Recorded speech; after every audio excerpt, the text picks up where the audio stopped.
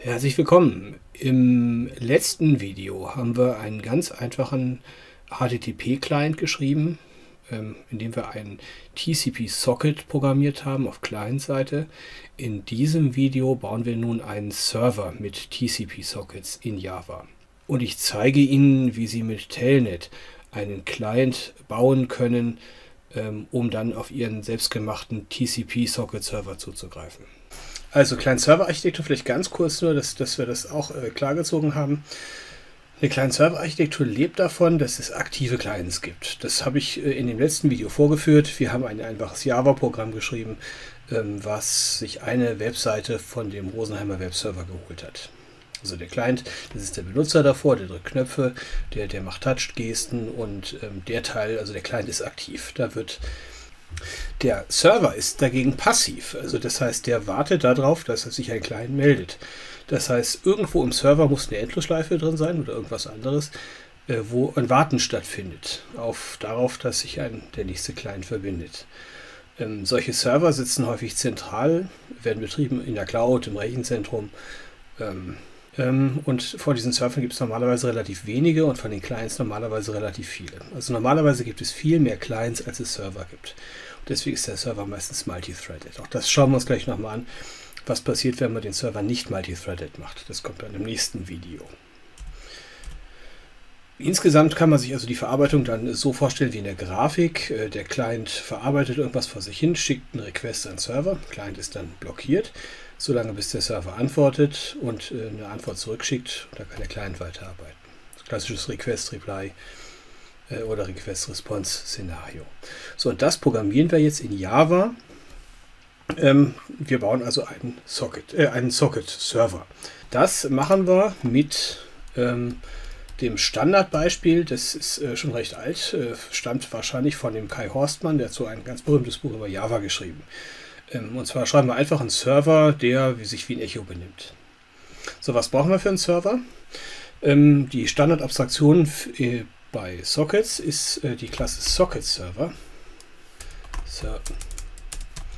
Server Socket. Ähm, das heißt, Sie sehen auch da, das kommt wieder aus dem Java.NET Paket, ähnlich wie äh, der Socket selbst. Server Socket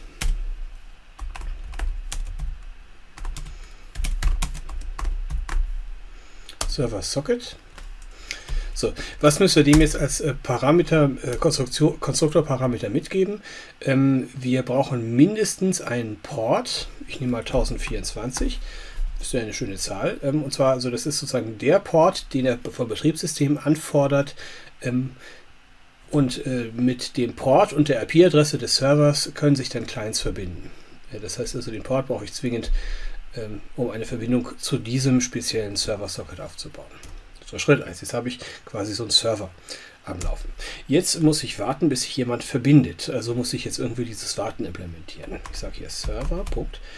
Und äh, dann gibt es eine Methode, die nennt sich Accept äh, beim Server-Socket. Das ist eine blockierende Methode. Die Methode ähm, also wird wartet so lange, bis ein Client sich verbindet. Sie haben es hier schon an dem an dem API gesehen. Ähm, das heißt, der gibt ein Socket zurück und äh, genau den nehmen wir dann her. Socket Client ist gleich Server Accept. Ähm, das heißt, man könnte das so vergleichen, vielleicht mit einem Telefonhörer. Das heißt, äh, wenn jemand anruft, dann hebe ich hier den Hörer ab und der Hörer ist sozusagen so ein bisschen dargestellt durch ein Socket-Objekt. Das heißt, das ist sozusagen ein Endpunkt, den ich jetzt hier anprogrammieren kann, ähm, um zu kommunizieren. Ähm, jetzt müssen wir sozusagen Daten reinlesen und rausschreiben aus dem äh, Socket. Ähm, ich mache das jetzt mal explizit, das ist im letzten Video ein bisschen zu kurz gekommen. Deswegen machen wir es nochmal ähm, explizit. Ich mache hier mal Input Stream. Das sind jetzt die Daten, äh, die vom Client kommen, die ich da rauslesen will, die der mir schickt. Ich nenne das mal from Client. Stream gleich client.getInputStream. So, also Sie sehen, es ist das gleiche API wie das, was wir gerade auch schon anprogrammiert haben. Output Docfinder nicht Output Stream to Client. Ich will, den, ich will dem Client was schicken. Stream gleich Client. Output Stream. Also hier wieder verbindungsorientiertes Verhalten äh, von den TCP-basierten Sockets. Ähm, ich äh, arbeite über Streams da kann ich kontinuierlich Daten reinschreiben und die rauslesen. Und die Abstraktion, die ich da verwende, sind die ganz alten, in Java schon lange vorhandenen Streams. Hier also Input und Output Stream.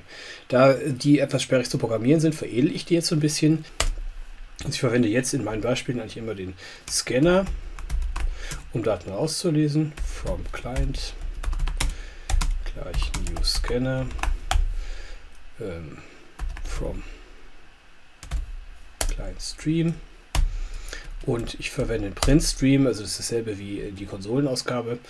Äh, also System.out verwendet auch einen Print Stream. Print Stream äh, to Client New Print Stream Client Stream. So, Jetzt, jetzt haben wir sozusagen zwei sehr schöne ähm, Objekte zur Verfügung, wo wir Daten vom Client lesen und schreiben können.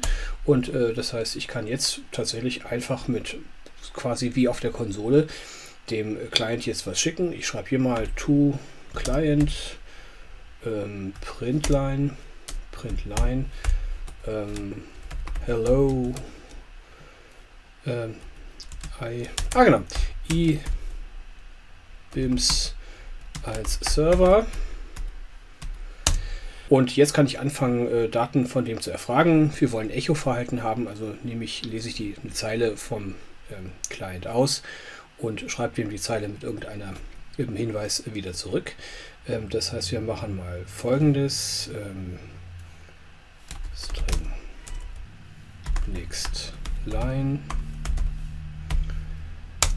ähm, to client.println echo plus Zeile. So, und jetzt haben wir ähm, eine Zeile gelesen und geschrieben. Ähm, da der jetzt ja kontinuierlich arbeiten soll, machen wir vielleicht, ein, machen wir vielleicht gleich eine While-Schleife drumherum. While äh, from client is next. Dann soll er die Zeile lesen. Ist vielleicht leichter. Ähm, so, das jetzt macht das zeilenweise. Vielleicht bauen wir gleich ein Abbruchkriterium ein, ähm, dass, dass wir das beenden können. Ähm, if Zeile. equals exit. So können wir rausspringen. So, das war es jetzt eigentlich. Jetzt haben wir im Prinzip einen, einen wunderbaren Echo-Server programmiert. Äh, da kann sich einmalig ein Client anmelden und äh, dann kann ich mit dem reden. Jetzt beschwert sich die Entwicklungsumgebung natürlich noch über diverseste Probleme.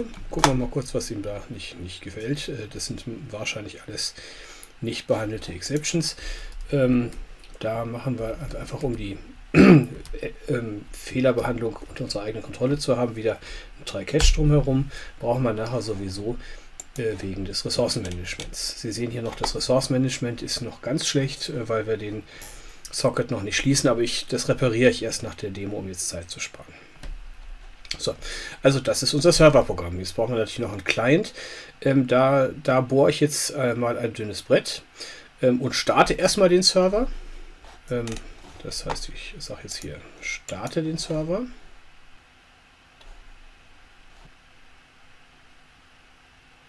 So, jetzt läuft der Server. Wir sehen bloß nichts, weil ich hier natürlich schlauerweise ähm, keine Konsolenausgabe eingebaut habe.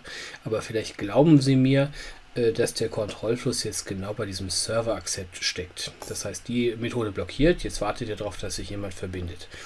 Nur wie kriegen wir das jetzt hin? Ähm, also ich könnte jetzt ein Java-Programm schreiben, ähm, das im IntelliJ, das, ähm, aber Sie haben, so wie man Client schreibt, haben Sie im Grunde ja schon gesehen, ähm, anhand des Beispiels mit, der, mit dem Webserver-Aufruf. Ähm, ich zeige Ihnen jetzt mal so ein ganz dünnes Brett, was man machen kann. Ich verwende ein Telnet, um mich damit zu verbinden. Ich habe hier eine Telnet-Implementierung auf der Maschine. Putty Der bietet ja mehrere Sachen an. Also ich starte hier ein Putty auf, meinem, auf meiner Maschine. Und der bietet mir hier verschiedene Protokolle an. Wichtig an der Stelle ist, dass ich Telnet auswähle. Dann habe ich hier äh, den Port gewählt. Sie sehen es hier 1024 1024.